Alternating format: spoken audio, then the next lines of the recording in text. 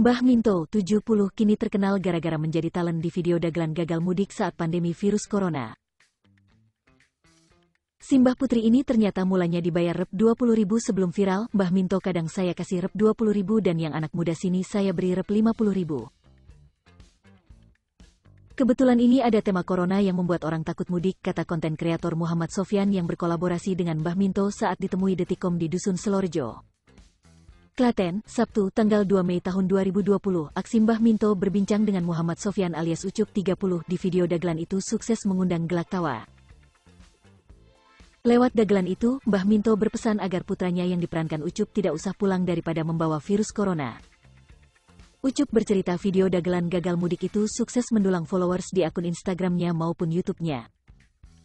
Kini setelah video itu viral followers di Instagramnya bertambah dan mencapai 45 ribu dan subscriber YouTube mencapai 100 ribu, followers di IG sudah sekitar 45 ribu dan subscriber 100 ribu. Tadi malam ngobrol dengan Pak Ganjar lewat IG. Belum yang endorse banyak sekali, ujar Ucup dalam video tersebut Mbah Minto digambarkan sedang menanak nasi menggunakan anglo dan kayu bakar di belakang rumahnya. Mbah Minto juga terlihat fasih menggunakan ponsel pintarnya untuk Mbah Minto ternyata tinggal seorang diri di kediamannya. Rumah berdinding batako tanpa plester bantuan Pemkap Klaten itu juga semakin sederhana tanpa hiasan perabot rumah tangga.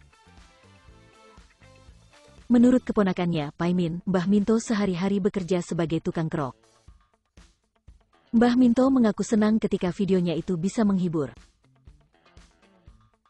Enggi remen sangat damel tiang sanes binga, senang sekali bisa membuat orang lain bahagia, kata Mbah Minto saat berbincang di rumahnya, Sabtu, 2 per 5. Detik.com jadi bagaimana menurut Anda?